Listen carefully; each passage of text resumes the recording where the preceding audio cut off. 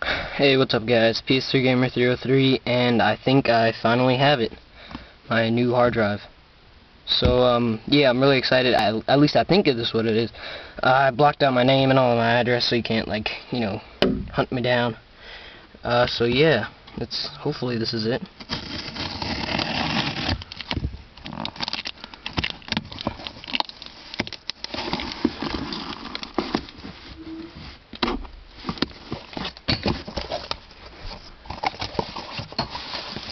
Uh, just come in a little foam.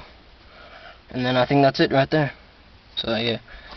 And then a foam on the bottom as well. So here it is. So two pieces of foam and a box out of the way and then here is what looks like the hard drive. So try to be careful with this and not, you know, bust it open. There it is. 500 hopefully you can see that. I hope you guys can. 500 gigabyte. Right there. Um I got the yeah I don't think you guys can see that but I got the Western Digital Scorpio. It says WD Scorpio blue but it doesn't really matter because it's just the color. Uh here's the bottom. So yeah I mean that's it. There's nothing else in here just says Western Digital right there because that's the company company I bought it from. I actually got this from Amazon. Um, but don't worry about anything. Uh, there's a lot of detail into what exactly you need for so it can be compatible with your PS3. But don't worry. Um, in my next video, I'll be explaining everything that you need to upgrade your PS3.